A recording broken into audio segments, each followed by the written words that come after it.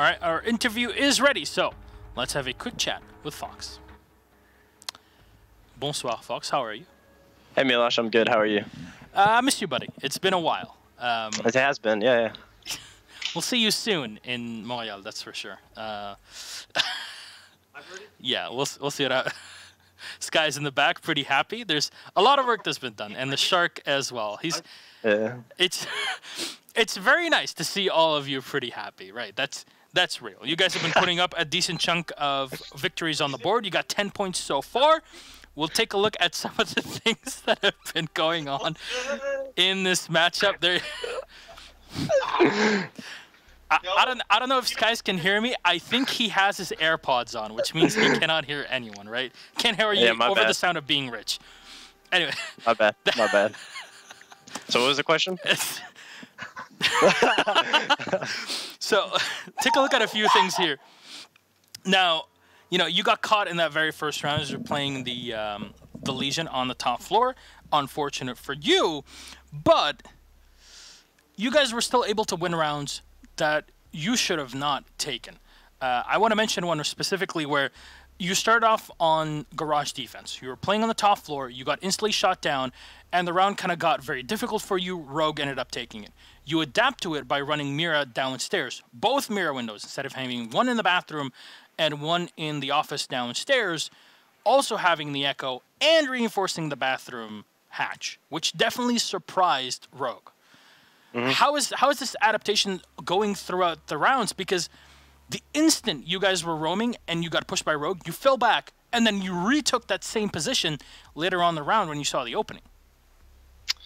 Uh, uh, I don't know. I mean, I think like it, if something didn't work, why do it again, right? So I don't know. We're just uh, adapting on the fly.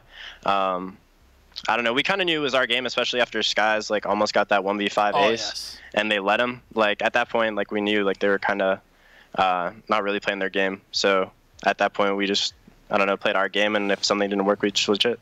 Now, Simple. how are things going on? Where in round number eight, you guys were attacking. Um, it was attack on garage, and you saw that Rogue were putting a lot of manpower on the top floor. There were initially two and then three players upstairs, and then it turned into four. You changed around and attacked the bottom floor directly because you saw they had the opportunity. Why do you think Rogue dedicated so much manpower on the top? And how easy was it to execute with little manpower left to defend the garage itself? Um, I don't know. I mean, I think they were expecting us to do like an aggressive uh, upstairs take where we'd get piano or whatever. Um, but once we saw that, yeah, I mean, just going straight to site is like there's the path of least least resistant. So at that point, we just kind of went there and decided to uh, plan. And we just held their rotates, and looks like it worked out pretty well for us. But yeah. It, it very much did. I'm I'm very impressed. Uh, you guys now sit atop on uh, on the board, uh, potentially maybe tying again tonight with uh, with one more matchup to go for Dark Zero. They might be uh, you know getting the same amount of points in the end of the day, but so far, so good for the squad. It definitely looks like Skies has integrated very well with the team. How is the communication and everything going? Because you know we obviously saw him on the camera there, but like, how is everything going with the whole team now being reformed? Yeah, no, I mean, I think we all have a lot of fun, uh, and it's enjoyable. And uh, I think it was a really good call to put move Mark onto support. Um, he's been really doing really good on support.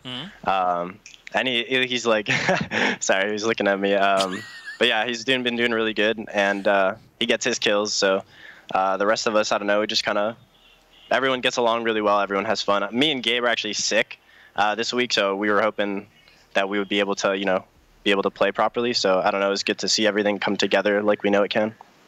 All right. Well, we'll get to see how that goes again tomorrow. You're playing against Orgless, so Mm-hmm. there's always that 24/7 grind, I guess.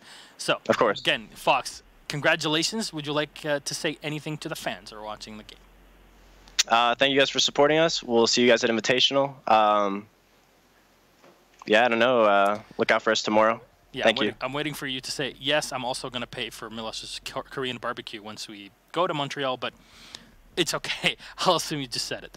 Anyways, thank you very much, Fox. Congratulations again on your victory against Rogue. Good night. Thank you. Good night. Bye bye.